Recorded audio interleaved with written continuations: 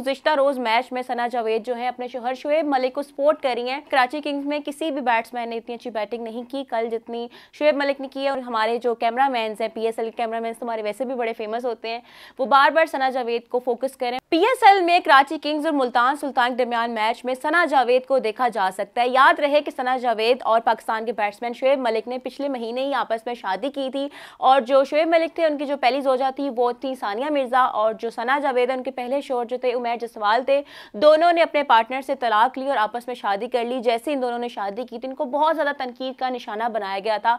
देखा जा सकता है कि गुजशत रोज़ मैच में सना जावेद जो है अपने शोहर शुएब मलिक को सपोर्ट कर हैं। बताती जाऊँ मैं आपको यहाँ पर कि कराची किंग्स में किसी भी बैट्समैन ने इतनी अच्छी बैटिंग नहीं की। कल जितनी शुएब मलिक ने की है, उन्होंने फिफ्टी टू रन बनाए। उसके दौरान ही सना जावेद जो है अपने हस्बैंड की परफॉर्मेंस पर बहुत खुश हो रही हैं, उनको सपोर्ट कर हैं। और हमारे जो कैमरा मैन हैं P S L camera man हमारे वैसे भी बड़े फ़ेमस होते हैं।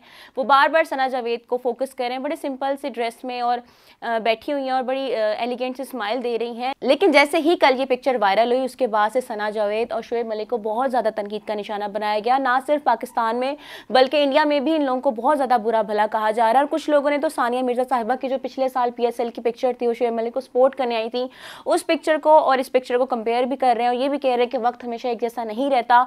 वही कॉमेंट सेक्शन में लोग सना जावेद को बहुत बुरा कह रहे हैं। कुछ लोग कह रहे हैं कि शुएब मलिक यही डिज़र्व करते थे, वो सानिया जैसी एक अच्छी खातून डिज़र्व भी नहीं करते। उनके, जो नसीब में है, उनका जो लेवल है, वो सना जावेद ही है। सानिया मिर्ज़ा ने बहुत अच्छा किया है कि वो शुएब मलिक से अलहदा हो गई हैं।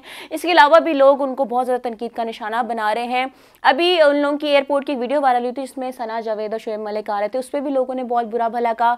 जब इनकी शादी हुई थी, इन लोगों को बहुत ज़्यादा बुरा भला कहा गया था, लेकिन दरमियान में इलेक्शन हो गया तो लोगों की जो तवज्जो थी, वो हट गई थी। लेकिन जैसे ये पिक्चर वायरल हुई, उसके बाद से फिर लोग इनको बहुत ज़्यादा तनकीद का निशाना बना रहे हैं। एक और बात बता बताती चलूँ कि इनके जो सारिफीन हैं, जो फैंस हैं, जो कि अब इनके फैंस नहीं रहे, वो इनको जो ड्रामा था पाकिस्तानी, मेरे पास तुम हो, उनके साथ भी कंपेयर कर रहे हैं। लोग कह रहे हैं कि सना जावेद ने बिल्कुल वही किरदार अदा किया है जो मेरे पास तुम हो, में आयजा खान ने किया था। इन लोगों की जो स्टोरी है, वो बिल्कुल ही सेम है। लोग उनको किसी भी तरह से पसंद नहीं कर रहे हैं। बहुत थोड़े लोग हैं जिन्होंने उनको पसंद किया होगा, वो भी जो उनके को एक्टर्स हैं, आवाम ने, पाकिस्तानी आवाम है या जो इंडिया की आवाम है, किसी ने भी इसके ऊपर अच्छा रिएक्शन नहीं दिया।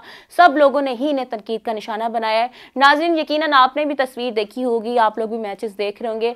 हमें कमेंट सेक्शन में ज़रूर बताइएगा, आपकी इस बारे में क्या राय है?